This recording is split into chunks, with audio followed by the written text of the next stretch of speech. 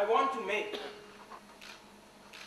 is that Mr. Gandhi and Mr. Banker have been part of an organized campaign to spread disaffection openly and systematically to, to render the government impossible and to possibly overthrow it.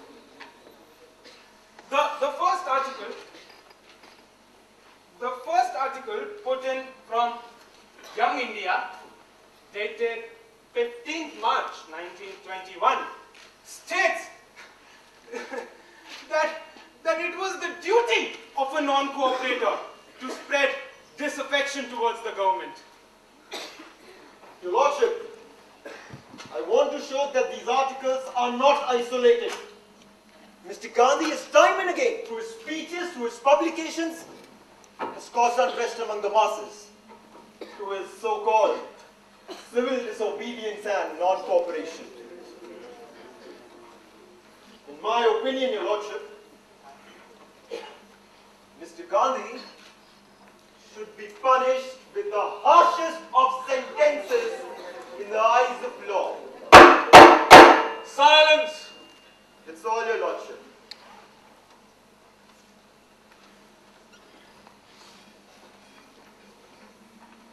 Mr. Banker, would you like to say something? A word, my lordship. M- m- my lord, if I may.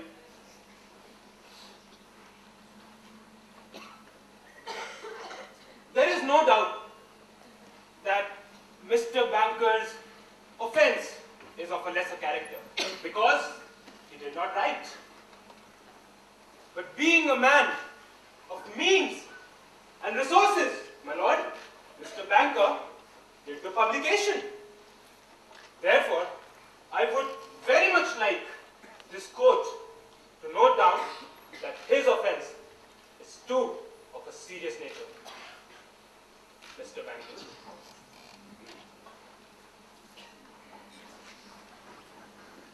Our Lordship, I would only like to say that I have the privilege of printing these articles and I plead guilty to the offense. As regards the sentence, I have nothing to say. And you, Mr. Gandhi, would you like to make a statement on the question of sentence? Yes, Your Honor. I would like to make a statement here. You may proceed. I believe I owe it perhaps to the Indian public and to the public in England an explanation as to why, from a staunch loyalist and cooperator, I transformed into an uncompromising, disaffectionist, and non-cooperator. Your Lordship, my journey with the British authority began in 1893 in South Africa. And it was not a very happy character. I realized then that I had no rights because I was a man from India. As I came back to India, the very first shock that came my way was in the form of the Rowlatt Act. An act that I very strongly condemned because it was designed to rob my people of all real freedom. Objection, Your Lordship. Mr. Gandhi is just proving my point by going against the crown. Objection sustained.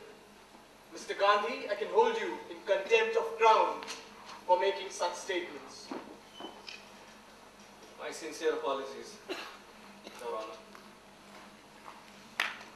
In the case of State versus M.K. Gandhi,